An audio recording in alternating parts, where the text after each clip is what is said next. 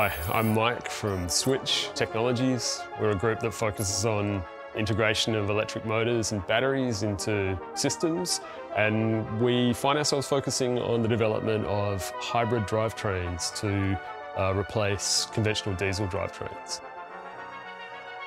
I'm Nathan from Echion. Echion has developed the XNO lithium-ion battery chemistry for the anode and this is an extremely high power density battery and is great for hybrid systems where you need that power for braking and for acceleration and you want to couple it with existing drivetrains such as diesel drivetrains. My name's Ben, uh, Ben Ting. I'm the Chief Commercial Officer at Echion Technologies, XNO, which is called uh, Mixed Niobium Oxide. It's a battery active anode material for lithium ion batteries. Why is it uh, different? Why is it special? Uh, it's because when you incorporate it into a lithium ion battery, it enables performance of batteries which uh, make them last longer, charge faster, uh, safe, be safer, and have a high energy density when achieving all of the above uh, as well. In a hybrid, you're really looking for a battery with a high amount of power density to handle inflow and outflow associated with capturing energy under regenerative braking and then using that energy next time the vehicle's accelerating.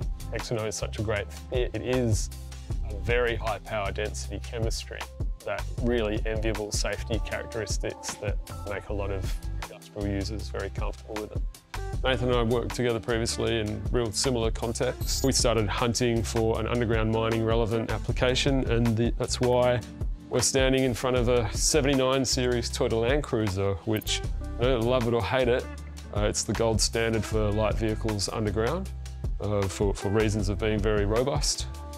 So the purpose of this video series is to give people a detailed insight into what goes into the design and development of a battery from that cell level through to a pack and then the importance of that pack being designed for the final application and then all of the other considerations that are required because superficially you're just stinging a battery and an electric motor into a Land Cruiser but uh, devil's in the details and there are a lot of little details and you know mechanical integration, considering shock and vibe, uh, considering all of the nuance or the minutiae rather of control systems integration.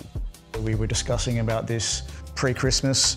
Uh, what project can we do? What can be done quickly and effectively and at relatively low risk? The objective for Echion was not just to do a Land Cruiser. The objective is to be a steward for the XNO battery chemistry and get it into as many different applications as makes sense.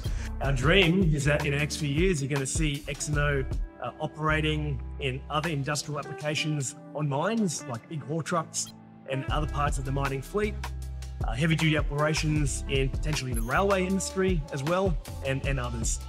Conventional product development projects like this uh, typically take a, a year or two or three. As we go along this journey, we may not always be going in the right direction, but we learn from that and we, we correct as we go along. If you're interested in this project, please leave a comment, promise to read them all, hit that subscribe button.